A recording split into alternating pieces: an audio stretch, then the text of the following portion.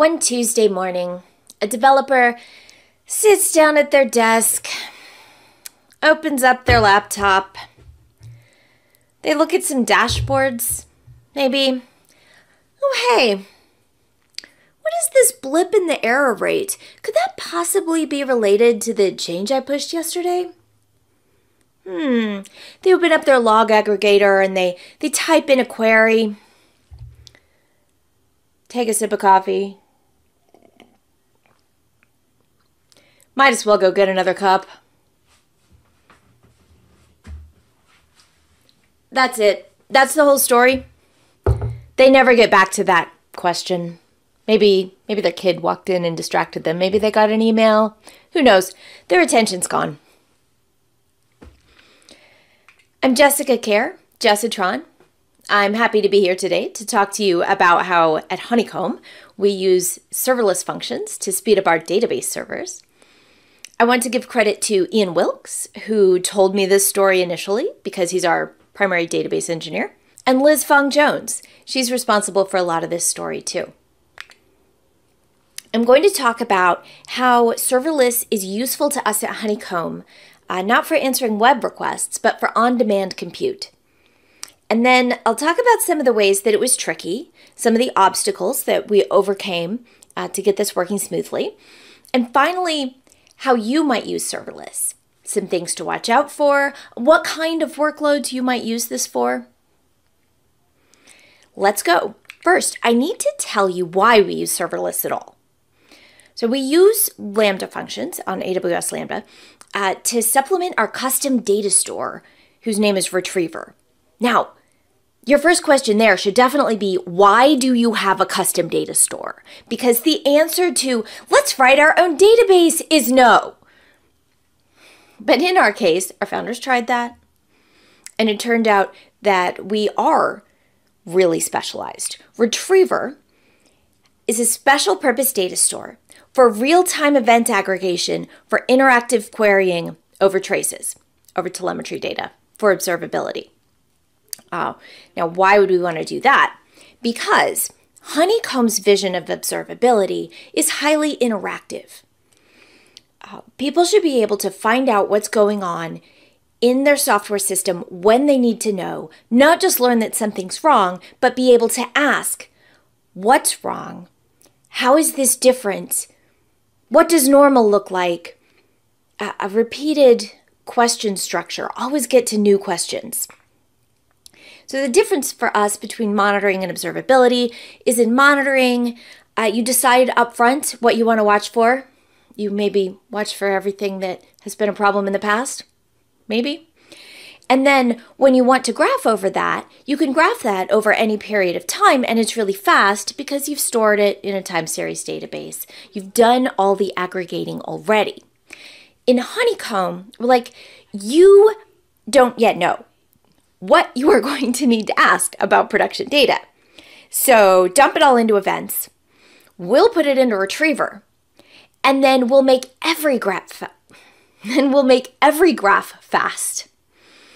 Uh, so each different field that you might want to group by or aggregate over, each different aggregation you might want to do from a simple count to a P50 or a P90 or a P99 or a heat map over the whole distribution our goal is to make all of these graphs fast so that you can get the information you need and immediately start querying it for more, more information.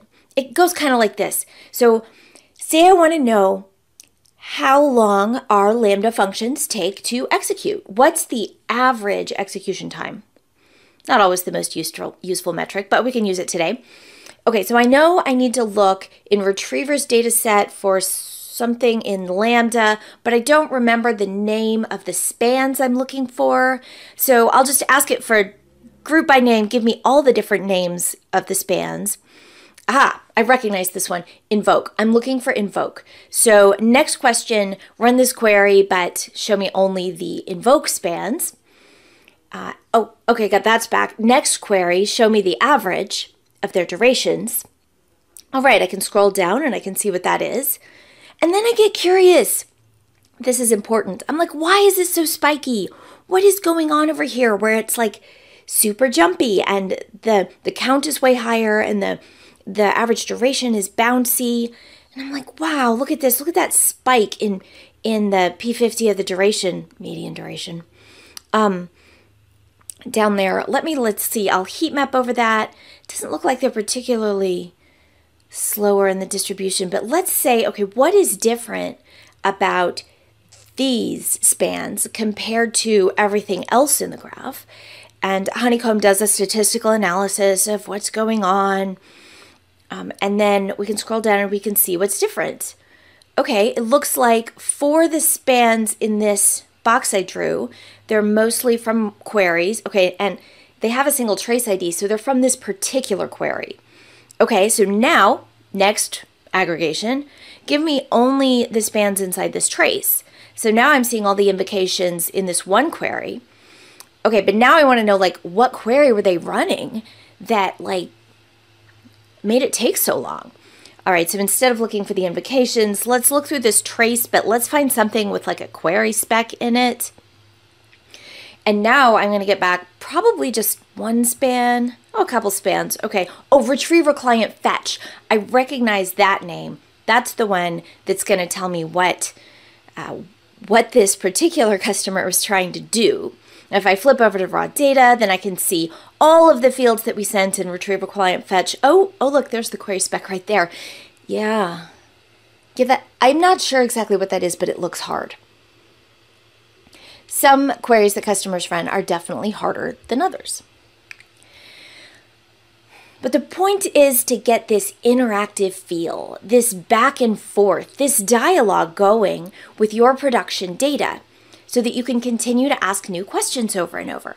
And for that, it has to be fast. It has to be really fast. Like if if if I hit run query and then I take a sip of coffee, okay, now I should have my answer. If I have to go get another cup, complete failure. We've lost, we've lost that developer or that SRE, um, and that's not good enough. So the emphasis on this is on the interactivity here. 10 seconds is a little slow.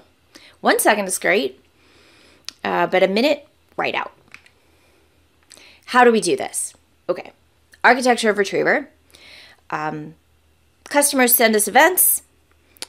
We put them in the database, and then um, developers and SREs and product and whoever uh, runs the queries from our, our web app. Of course, uh, the events come in in Kafka, which makes that this is not weird. Um, and naturally, we partition them. Uh, so Retriever is a distributed data store, and uh, there's a retriever to read off of each topic. Actually, there's I didn't draw two, but there's two retrievers to read off of each topic so that we have redundancy there. Um, and it reads all the events and then it writes them to local disk because local disk is fast. Uh, in memory is too expensive. Anywhere else is slower. So it writes all these things to local disk and um, that's quick. So the more retrievers we have, the more local disks we have. Then, when a query comes in, it comes into one retriever, and that retriever says, "Oh, okay, uh, this data set has data in these this many other partitions, sends off um, inner queries to all of those retrievers so that they can access their local disks. And then there's a big MapReduce operation going on. It comes back to the retriever you asked and it responds to the UI. Okay, so that's the, the distributed part. Uh, the next trick to making this really fast is that Retriever is a column store. And it's been a column store since before these were super cool, but it's still super cool. Um, so every field that comes in with an event goes in a separate file. Uh, that's that's fine. This is how we scale um, with quantity of fields on the event because at Honeycomb uh, we want you to send all kinds of fields and they can have all different values. We don't care uh, because we're only going to access the ones we need. So when a query comes in, um, that if we're looking for service name equals lambda and name of the span is invoke and we're ag aggregating over the duration, all Retriever is going to look at is the service name, the name, and the duration columns. uh, and the timestamp. There's always a timestamp associated with every query. So that's the next trick is in order to segment this data, we use timestamp. Uh, at Honeycomb, we like to say we don't index on anything, but that's not quite true. We index on timestamp. Uh, so the data is broken into segments based on like, I think at most 12 hours or a million events or a certain number of megabytes in a, in a file, and then we'll roll over to the next segment. Um, and then we record like what timestamps um, are the earliest and latest in each segment. And that way, when a query comes in, we're like, okay, the query has this time range. We're going to get all the segments that overlap that time range, and we're going to look th through uh, the timestamp file to find out uh, which events qualify. And that's how Retriever achieves dynamic aggregation of any fields across any time range at that interactive query speed. Okay, but then we have the problem of success, and we've got bigger customers with more data coming in, and data sets are getting bigger. And the thing is, our strategy used to be uh, whenever we run out of space for a particular data set, new segment starts, oldest segments get get deleted. And that was fine when the oldest segment was like a week old.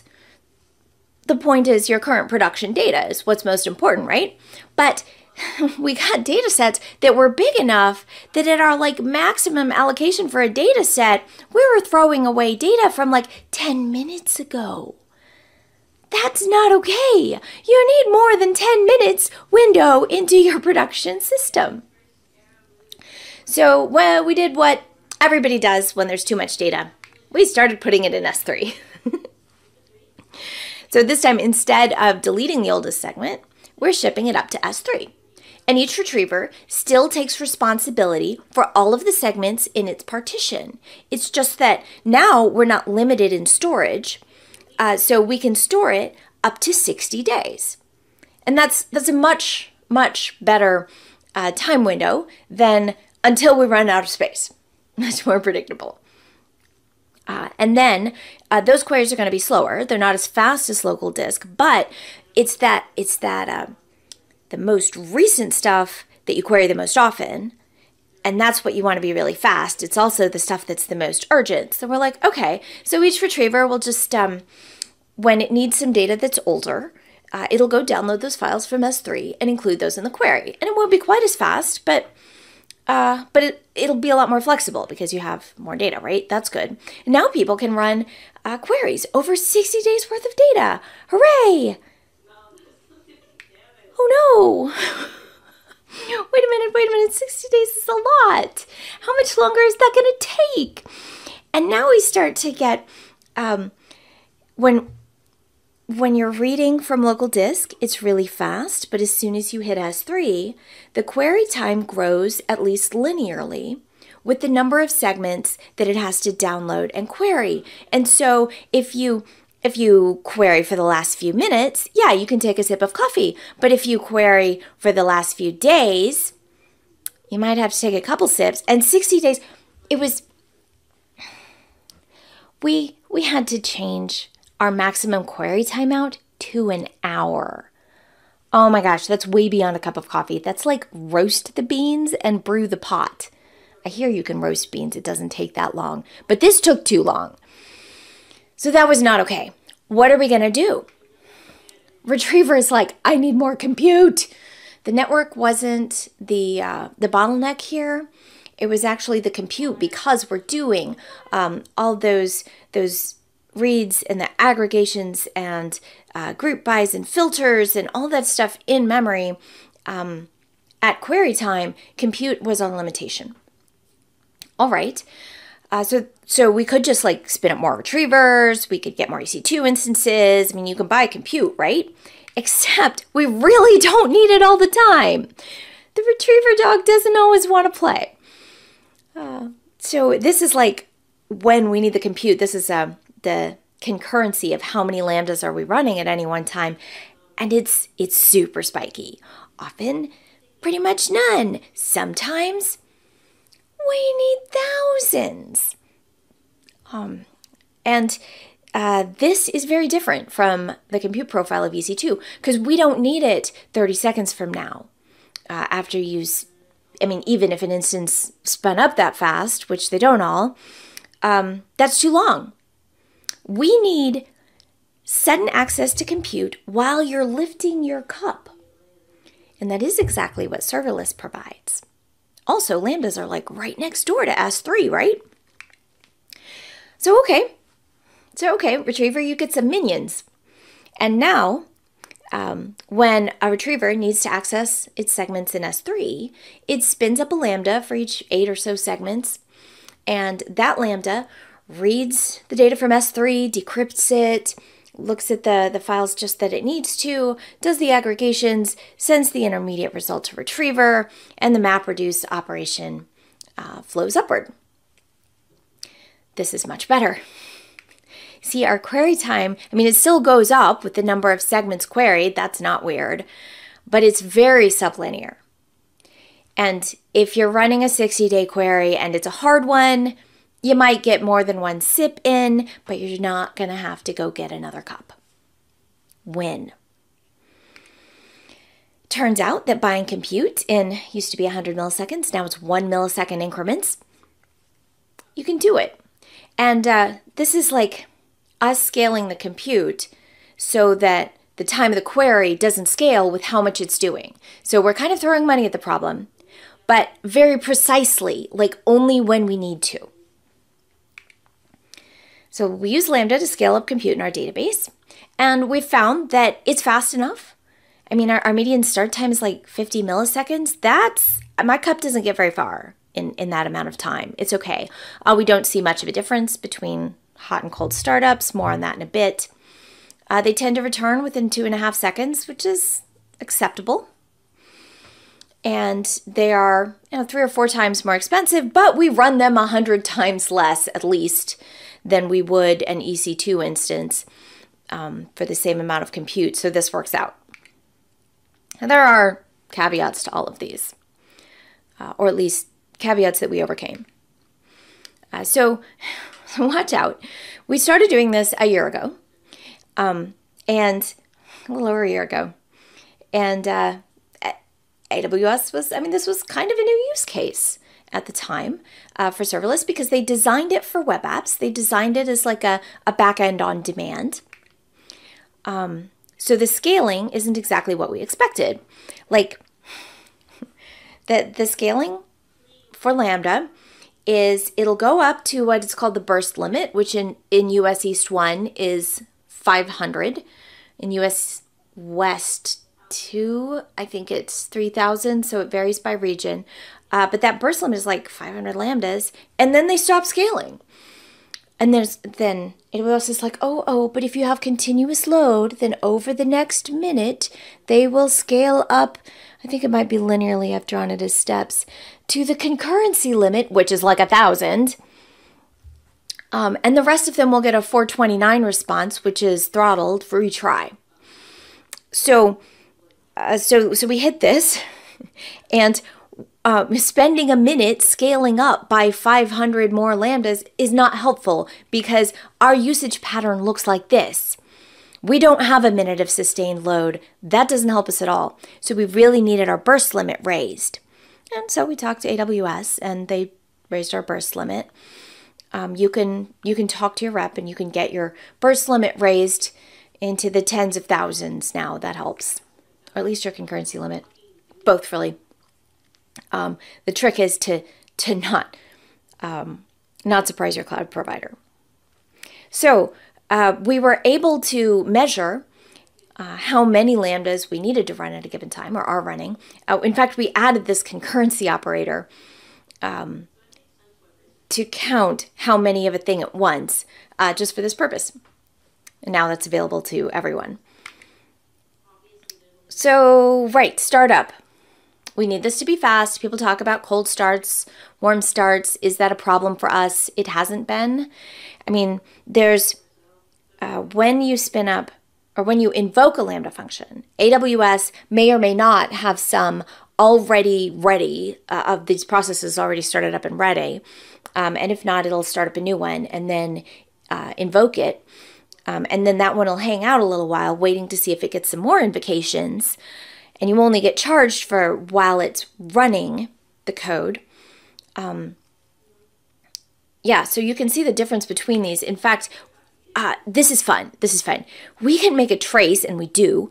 Uh, we make a trace not only of our invocations, but of that wider Lambda process, uh, because we emit a span when it wakes up, and we emit a span right before uh, the function goes to sleep. And so we can see run, sleep, run, sleep, run, sleep.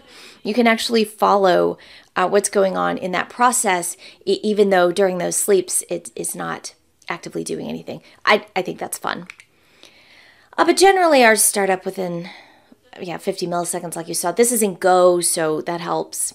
Oh, look, here it goes. Here's the, here's the, the Lambda function process. You can see that this one hung out for a while. And we can count the number currently running, and we can use concurrency to count the number currently sleeping, and you can see that those are wider. That's just kind of neat.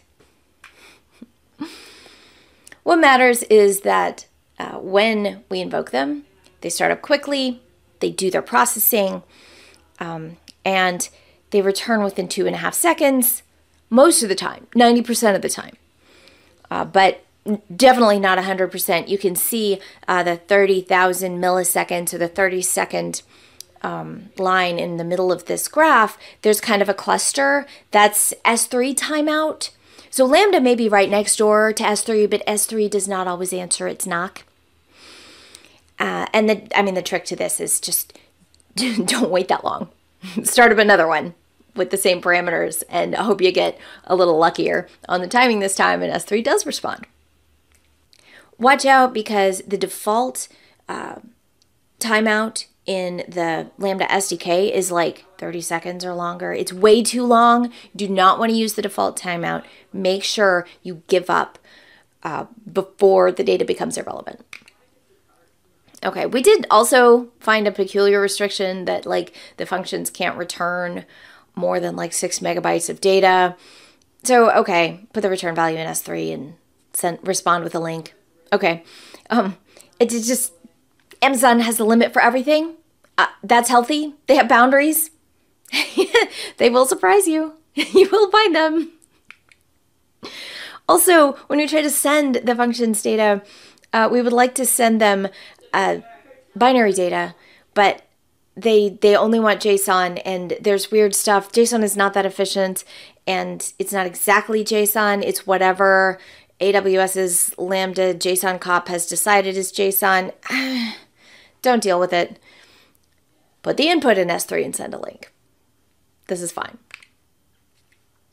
Finally, everyone knows that serverless is expensive.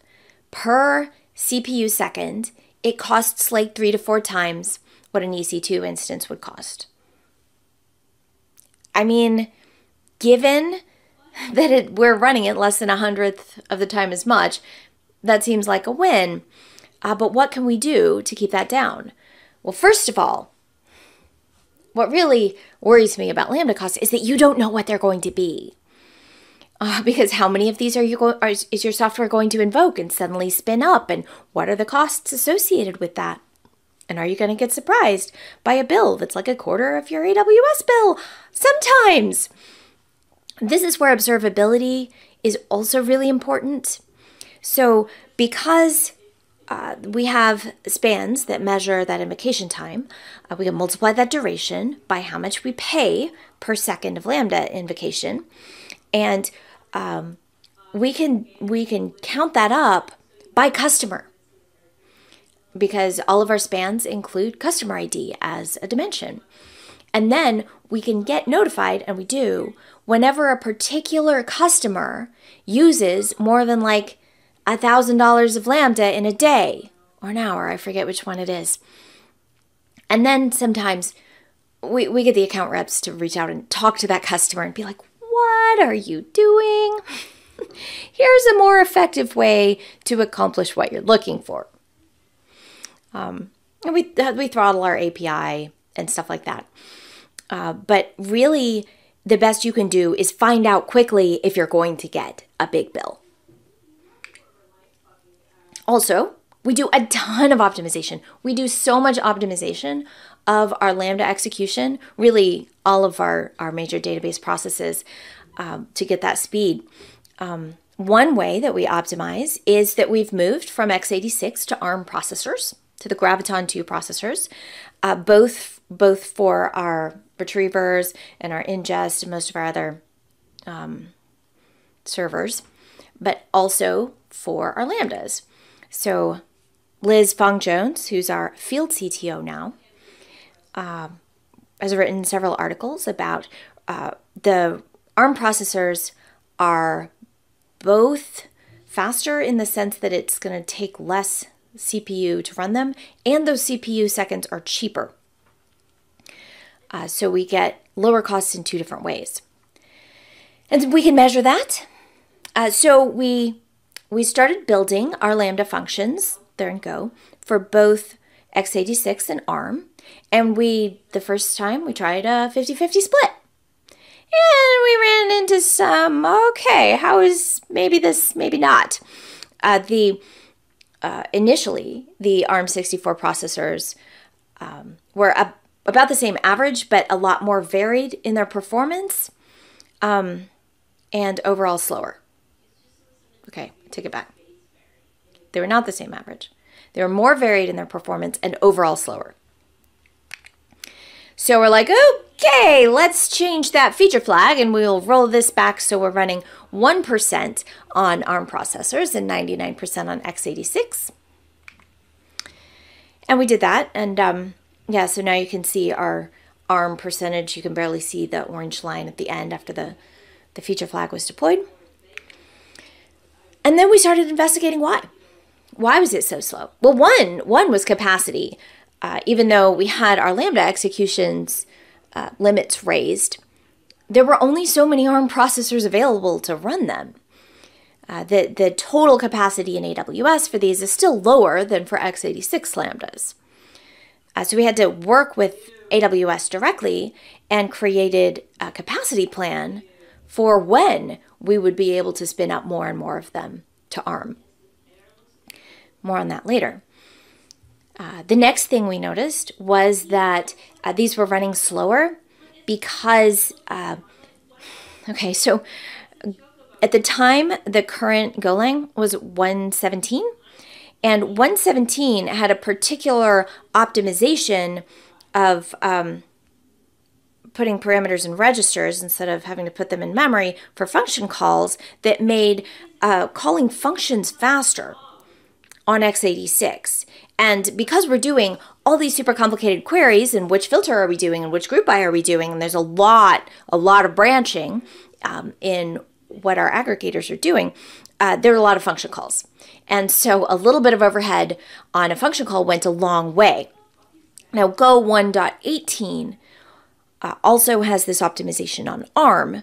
Uh, so we started using 118 a little bit early just for our lambdas, and that made a difference. Now goes 119, it's fine.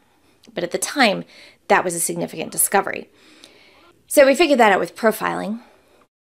Um, and also through profiling, we noticed that the compression was taking a lot longer on uh, ARM than on x86.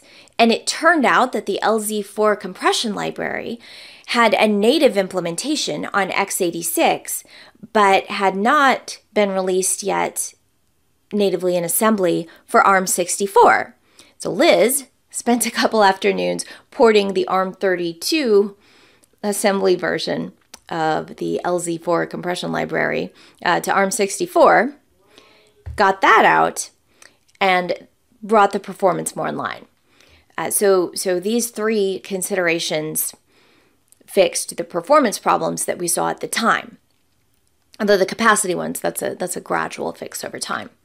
So since then, since a year ago, uh, we've been able to bump it up to 30% ARM, uh, and then AWS called and said, "Hey, uh, try, go for it." And we bumped it up to like 99, but then there were some regressions, and so we dropped it down to 50, and that was okay. And then we got those fixed, and then uh, bumped it up to 90, or gradually worked it up to 99%. And now we're there. Uh, we keep 1% on x86 just so we don't break it without noticing.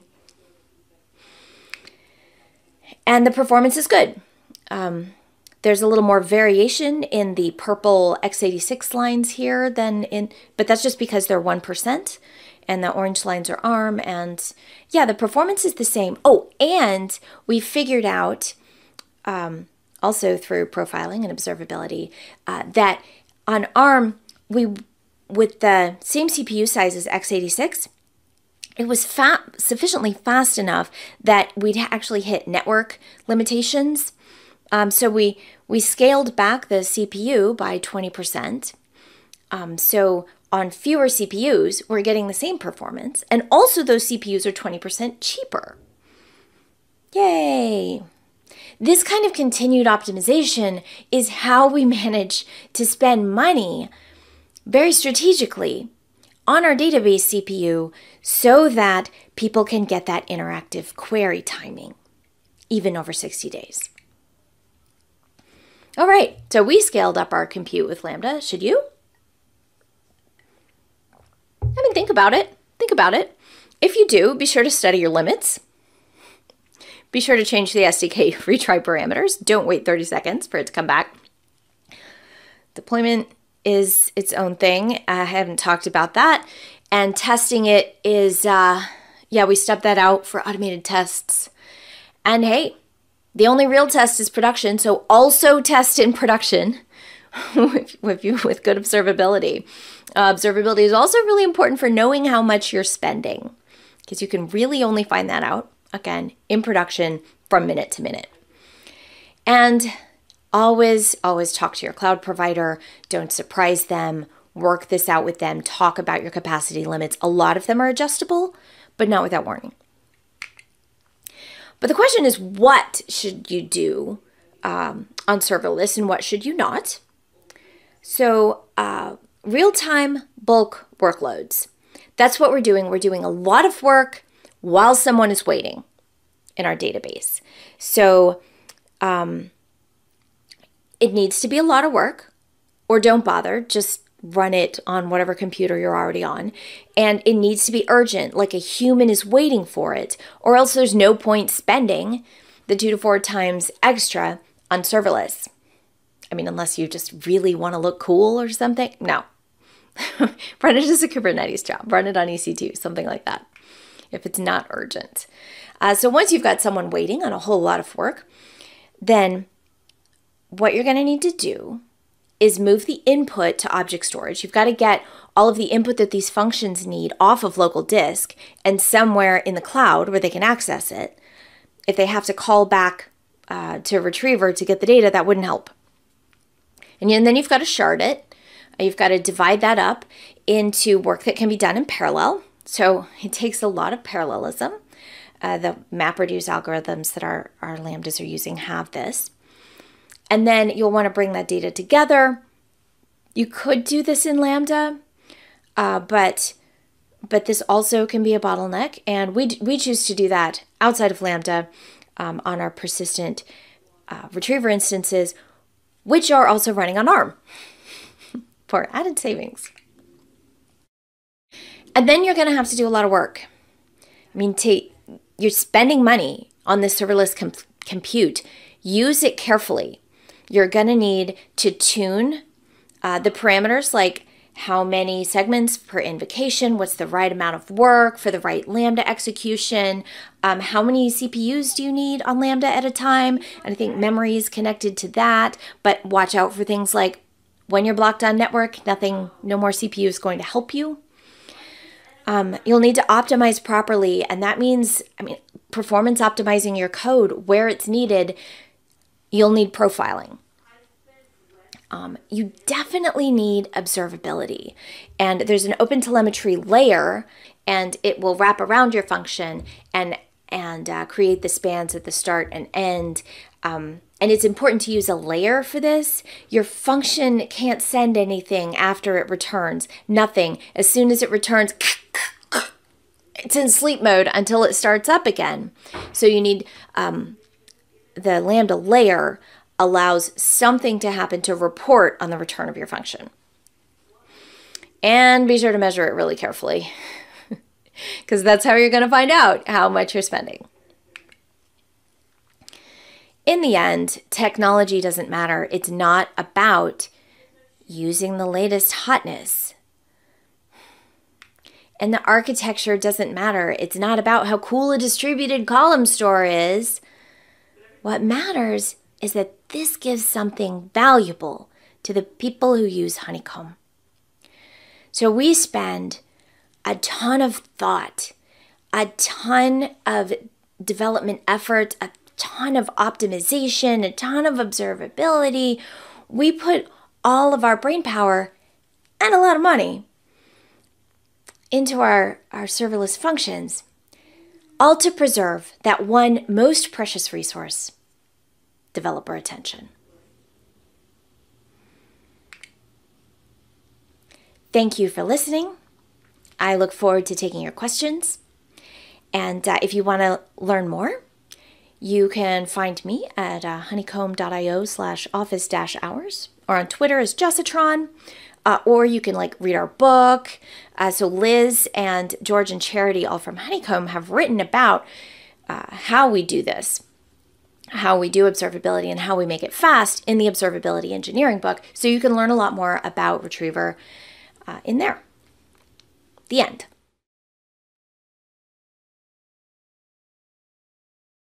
Thank you for a wonderful talk. I, I love watching it.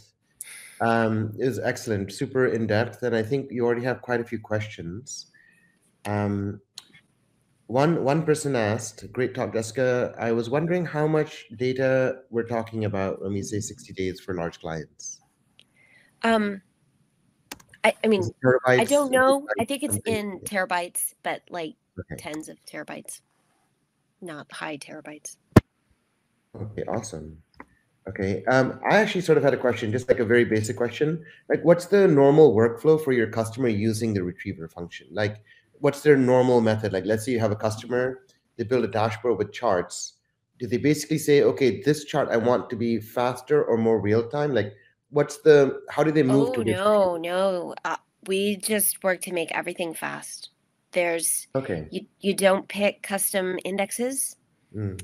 Um, and you don't like pick which graphs to make fast. We aim to make all of them fast because we don't want you to be stuck with your dashboards. I mean, yeah, you can build a dashboard. That is a functionality that Honeycomb has, um, but it's not what we're optimizing for. We're really optimizing for the interactive experience. You might start at a dashboard, but then we expect you to click on the graph, maybe change the time range, maybe compared to last week, more likely group by a field or or several fields um, and get little tables of the results as well as the uh, um, as well as many lines on the graph, and then maybe uh, click on uh, make a heat map or click on it and say what's different about these, and we're going to go run a series of queries to tell you that. Oh, so it's completely done on demand in like real time as the user is doing his or her analysis.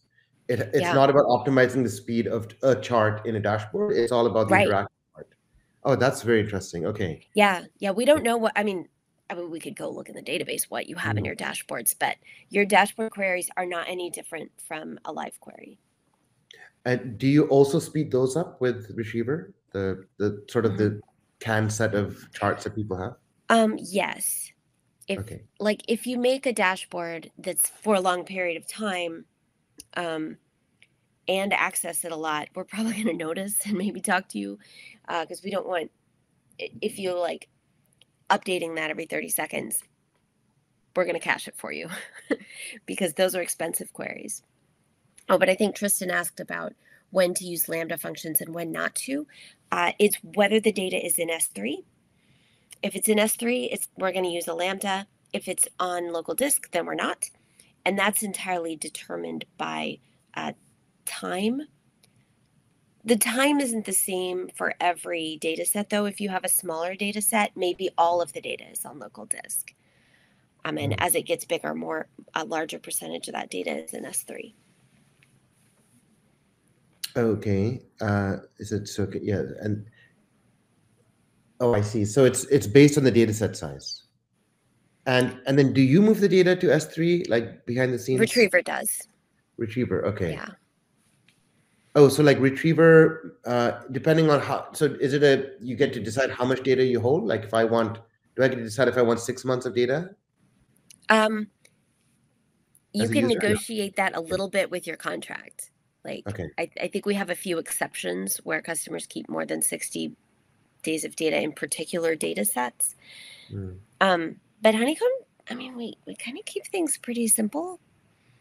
Uh, pretty much everybody had 60 days of data.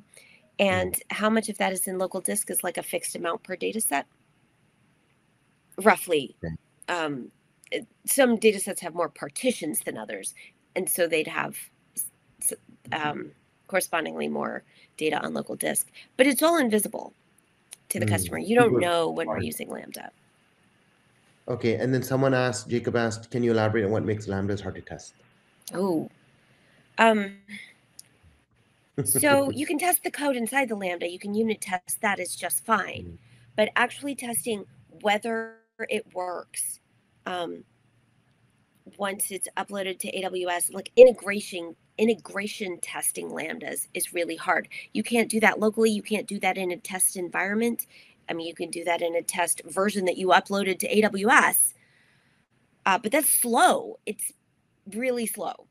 Um, so yeah, I, I mean, Honeycomb is all about test and production. Um, not that we only test in production, but that we also test in production and we notice when things break um, and then we roll back quickly. Uh, the other thing we do is we upload or we don't we deploy um, to our internal environment first. And our internal environment is not a it's not test, it's not staging. It's a completely separate environment of Honeycomb that we're the only customer of. So there's there's production Honeycomb that monitors everybody else's stuff, the, uh, all of our customers' observability data, and then there's our version of Honeycomb that just receives data from production Honeycomb. We call it dog food because we use it to eat our own dog food. Um, so the dog food honeycomb, we deploy to that first. Technically, there's another one that monitors dog food, but close enough. Um, and so if we broke the interface uh, between um, retriever in EC2, actually, I think we just moved it to Kubernetes, but still, that's under that's on EC2 eventually. Uh, mm. between retriever on EC2 and the, the lambdas, um, or anything else about the lambdas that we couldn't unit test. If we broke that, we'll notice it very quickly. Mm. Uh, we even have like uh, deployment gates that normally uh, the deployment to production would just happen 20 minutes later. But if um, if our if our SLOs uh, don't match, if we get too many errors in dog food, we'll automatically stop the deploy to production. Uh, so we test in prod where it's a smaller version of prod, right? It's not um, all of prod. It's a limited rollout, I guess. Got it. Um, great. Um, someone asked. Uh, there are a few questions here. One is, how do you compare lambdas to Knative? Have you? Well, personally, I don't. I've never tried anything in Knative. Okay. And um, neither have I. We do use Kubernetes and Honeycomb, but I, I don't think. Are you using EKS? Uh, Kubernetes over EKS? Mm-hmm uh, the elastic. EKS, yeah. Got it for the control plane.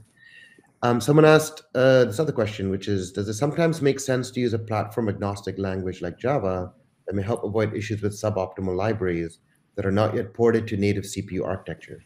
What sometimes, absolutely. It depends on your business case.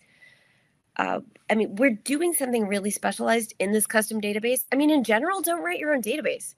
Um, and in general, don't optimize your code this much for like business software. Uh, but this is like the secret sauce that makes Honeycomb special. This is what makes it possible for you to not have to decide which queries you want fast. They're just all fast. And we don't even, it's a dynamically generated schema. We don't even know what fields you're going to send us, just that it's going to be fast. Um, so it's super specialized. And uh, at the scale that we do these particular operations at, it's expensive. Um, and that's where a significant portion of our costs are in AWS, and a significant chunk of that is Lambda. So we're constantly optimizing to run really lean in AWS, and we watch that closely. Liz Fong Jones is um, is always noticing something that uh, that could be faster and could save us um, thousands or tens of thousands of dollars a month, mm. which is significant at our our size. It, it, are you? Is your entire platform written in Go? Um, pretty much. I mean, the front end's TypeScript. Okay, okay, that's very awesome. Uh, great questions from everyone. Um, let's see. Let's see if there are any others. Um, this was a very detailed talk. I, I took so many notes during this. I, actually, we, yeah. we also like moved the... ARM oh, from, uh, and we do real time streaming. And I mean, I, I'm going to go and check to see if we've seen, we did a comparison with x86 before moving over to see if it affected our latency.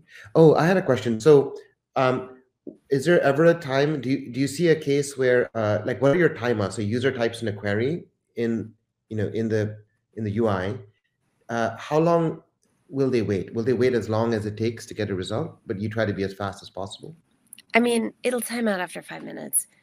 Okay. Uh, but if if it takes that long, there's a bug. I mean, well, more likely something went down. Um, okay. Uh, yeah. That the the user waits until there's a little spinny thing. Um, and I think, yeah, and then the query will populate. All the queries will populate all at once when the when the results have been aggregated and sent back. And usually it's it's like five seconds on a long one. Mm. Um, and like two seconds on a typical query. Um, I was also going to ask. I mean, this is the, the, holy grail, like call cancellation. Someone closes the window. You, uh, you, mm. you haven't scheduled the workload. I mean, that's, that's everyone wants to do it, never gets around to it. Really yeah, I mean it'll it'll finish what it's doing. There's no really stopping it because it's doing everything at once already.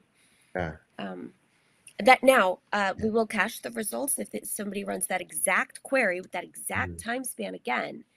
Um, those results are actually stored in S3. This works for this makes permalinks work.